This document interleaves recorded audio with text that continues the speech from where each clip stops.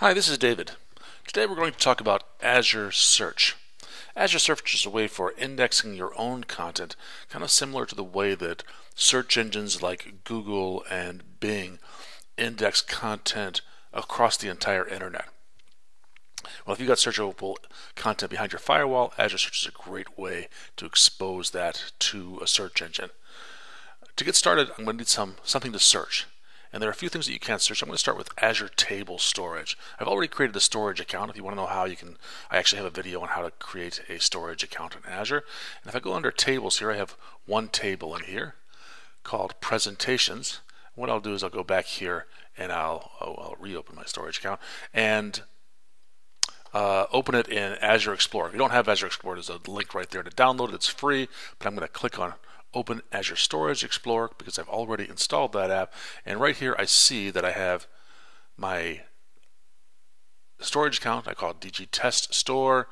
And in there I've got my one table right here. It has no data in it.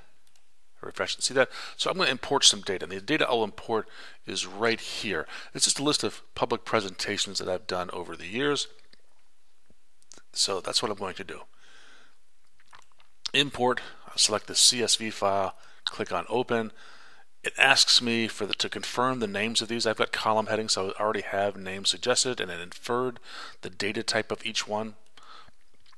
So I'll click insert there, and there it inserted. There's about 500 rows there. It went really, really quickly, and you can see this right here in the Storage Explorer. So that's just the data we're going to import. We can see that there's a city and a country, an event name, an ID, presentation date, state, the topic that I spoke on, and so on. So I'm done with that. I'm going to close this, go back to Azure, and then I'm going to create an Azure Search Service. And the way I do that is the same way I do just about everything in Azure. I'm going to create something, I click on this big green plus button, and I'm going to type in Azure Search right here. And it brings up some matches. The very first one is Azure Search. That's what I want.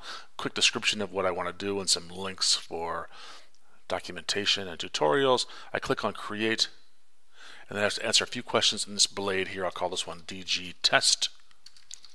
Search. Put it in my subscription resource group. I want to put it in the same resource group as my storage is in. You don't have to, but I like to keep everything together. Um, select a location for it. West US is fine uh, pricing tier, you notice that there are different pricing tier, including a free one. And I'm going to do that for these purposes. Um, uh, it's not as scalable. The big thing about the free one is you can't really scale it. Some of these other ones you can scale them, and the more you pay, the more you're allowed to scale them. I'll do that. I'll click on Create right here. Does a little bit of validation. Uh, one thing that I'd make note of is the fact that you only get one free Azure search per Azure account. So if you wanted to uh, make two of them, you delete your first one. But free is really just for training purposes and learning how to do it. It's not, uh, I wouldn't use that in production. All right, so it's went through there, and in just a few seconds, it created this Azure Search Service. Now what I want to do is I want to import some data into it. Now you can go in here and add an index right away, but when I import data, it'll, it can automatically create an index. I'll show you this right here. Add index allows me to come in here and give my index a name, whatever I want, and then in here add fields manually to it. So if I want to have, like, for example, presentation date and specify the data type in there, I certainly could do that. But I'm not going to do that. Come out of here, discard those changes. Instead, I'm going to import some data and it asks me where do I want to import the data from. Here are the uh, options here, SQL, Azure SQL, SQL Server on a VM, Cosmos DB, Blob Storage, or Table Storage. Well, I've already created this table storage, so I'm going to do that. I'm going to give it a name. I'll call it Presentations. And for the connection string, if I click this link, choose an existing connection, it'll list all of the containers that have table storage. And there's the one I want, DG Test Store right there. And uh, in here, I want to give it the name, and I called this one Presentations. Hopefully, I spelled that correctly. And I could filter it if I wanted to and give it a description. I'll choose to do everything here.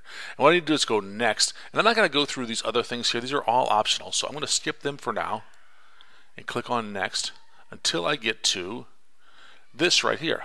And here it looked at the column names and it inferred that these are all of the fields that are available to me.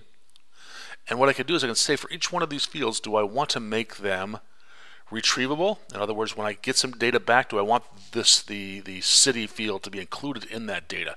Do I want to be filterable? Do I want to be able to filter on presentation dates. Show me everything on this date or everything between these two dates or after that date, whatever. Uh, do I want to be able to sort on something? Do I want to be able to sort, for example, on the state?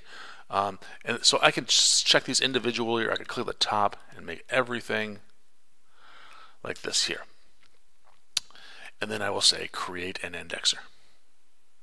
This will go out and it'll go through those 500 rows and it'll create this indexer. Actually, what it did is actually created the index and set it up. If I actually want to do the indexing, then I come to this thing right here, and here's the indexer. That does that. And what I can do is I can schedule this thing to run hourly or daily or any schedule that I want to. Um, you know, every uh, 17 minutes starting on a certain time, a certain date and time if I want to. For right now, rather than schedule it, I'm going to run it one time and submit it because if I said hourly, I'd probably have to wait 60 minutes before it actually kicked off. And now it's going to run. And you can see that it's off running here. It's, it's success, successfully created the, um, it's imported the data. Actually, I should show you that while it's running. If I go back over to my Explorer, which I have closed, let me go to Azure Storage Explorer. then I can come down here to my subscription. And in my storage account there is the storage that I created just before I started recording. Here's the table right here and if I look at this there's the data right here so it, I've imported all this data I've created an index and you see right here there is one index that's shown here and up here one index and I've created one indexer. But if I go into this index, right now it just shows zero document count and zero storage size. And the reason is because that indexer is still running. It takes a, a little bit of time to run. If I hit refresh, what will happen is eventually now I have 497 documents. Those are the number of rows of data in my data set and the size of that data right here. So here I've done, I've, created an index service or a search service and an index, and I've actually run that index against some data that I've imported. I'm going to stop here for now, and in the next video I'm going to show you how to actually call that search service to find things that are in there by name. This is David. Thank you for watching.